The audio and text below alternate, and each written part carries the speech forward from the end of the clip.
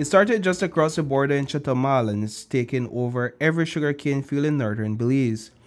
Researchers at the Sugar Industry Research and Development Institute, SIRDI, have traced the origins of the destructive Fusarium fungus to neighboring Mexico. In just a few months, it spread like wildfire, carried by air, water, and even heavy machinery, wreaking havoc across Corozal and Orange Walk. The fungus attacks the plant's roots, cutting off its access to water and nutrients and forcing it to fight for survival. Marvin Garcia is an extension officer at SIRDI. But since this fusarium is so um, aggressive, the plant alone it cannot fight it. So we need to help the plant in this case. Sugarcane is the economic lifeline in northern Belize. And now this all important plant is being wiped out by a deadly soil-borne fungus, Fusarium. Today, we found out that of the tens of thousands of acres not a single one is fusarium free.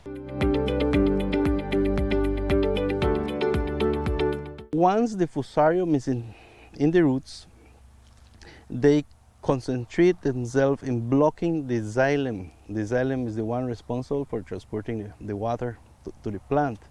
Once that is blocked, and nothing can go up, and uh, also they start to deteriorate the roots. Once that happens, like what you're seeing, this is a plant here that has seven leaves.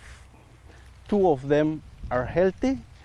The rest are already infected with the yellow coloration. So that means the ones that are infected are not fully functioning and doing photosynthesis.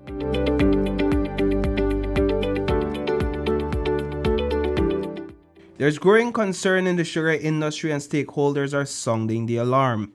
If the Fusarium fungus continues to spread, the 2026 crop could see some of the lowest sugar yields in history. And the warning signs are already here. Just five days ago, this year's sugar season came to an early and disappointing end, with Prime Minister John Briceño calling it the worst crop in recent memory. The industry's projected loss this year is estimated at $50 million. The Prime Minister declared the Fusarium attack an existential crisis. We cannot and we will not allow this to happen.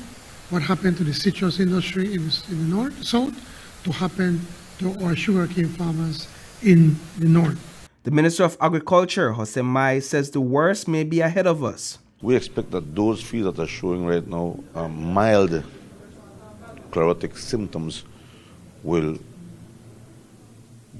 produce very little cane this year coming. And if we see a field that has one third showing chlorotic symptoms, by the end of this rainy season, the full field will be covered.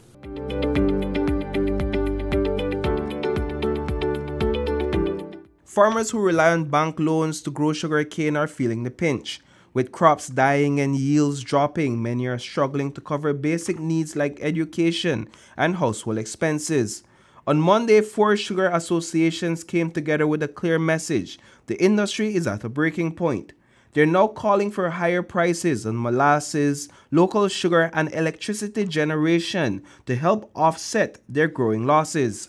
As we speak right now, Today is them, and this this um, this this fusarium is spreading over. Is nothing is being done. So if we don't do anything right now, if don't get the assistance is needed, then we will end up with a with a sugar industry where we don't have any production. How will they service their fields? How will they feed their families?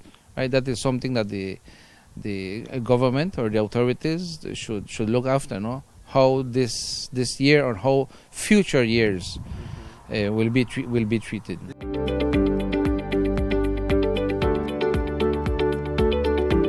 But all hope is not lost in the medium and long term. There is a silver lining in this dark cloud. Trichoderma is a fungus proven to be stronger, more aggressive, and able to defend the sugarcane plant against Fusarium.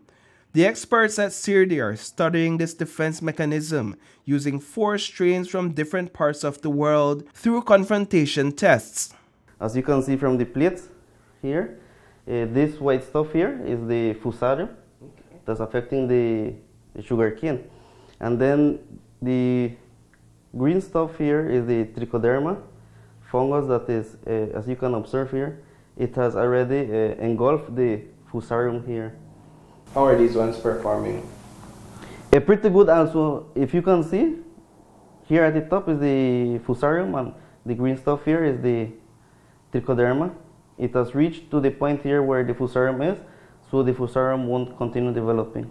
And this other plate, the same one, as you can see, the trichoderma has already engulfed the fusarium, so you cannot see the fusarium here.